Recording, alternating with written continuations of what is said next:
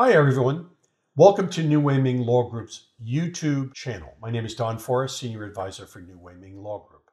Today, I will talk about the H 1B work visa application in 2024.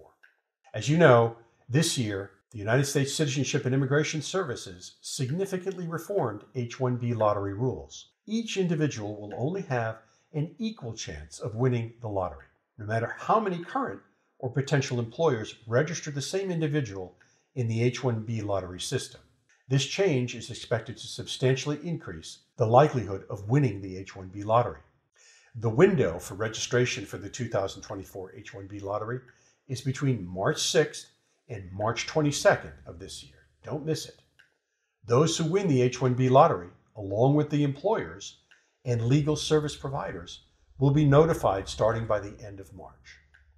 And then we'll have several months to prepare and submit the H 1B applications. Once approved, the H 1B work visa will be effective starting October 1st, 2024. Remember, the H 1B application fee will increase by April 1st, 2024, except for small companies and nonprofit organizations. In addition, the USCIS will use a new version of the I 129 application form starting in April 2024. What do you need for the H 1B application? Besides the application form and fee, you usually will also need to submit a labor condition application or what is called LCA certified by the U.S. Department of Labor. Copy of your resume, diploma, transcript, job description showing this is a professional position, your visa history, and the employer company information. At New Wei Ming Law Group, we have obtained many, many H 1B approvals for our clients, including small companies, startup companies, and approvals after RFE or NOID.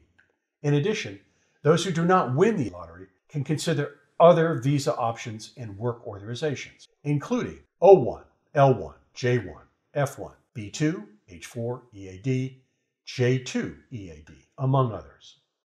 If you have additional questions or need assistance for H-1B or other visa applications, please contact New Wei Ming Law Group at info at nwmlaw.com. Thank you very much.